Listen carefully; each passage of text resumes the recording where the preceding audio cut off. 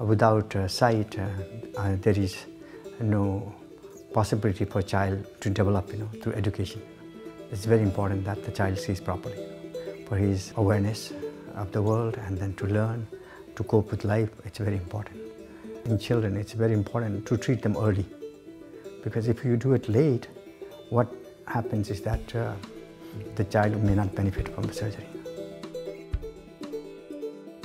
Biman is fully equipped and they have competent doctors. They are providing really great service, provided not only clinical and surgical, but also in a very uh, human kind of a level.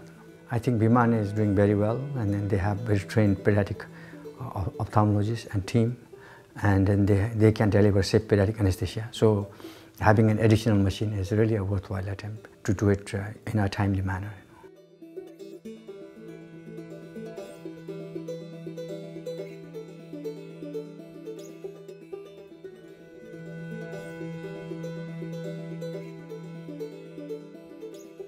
Because uh, when the patients come and then you do not have the services in the hospital, you start asking them to go here, there.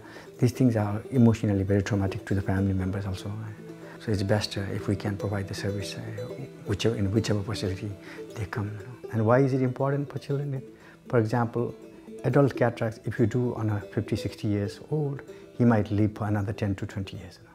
But children who are like if you do it at two years old, he might live up to 70 years old. So the number of blind years that you are going to save is much more.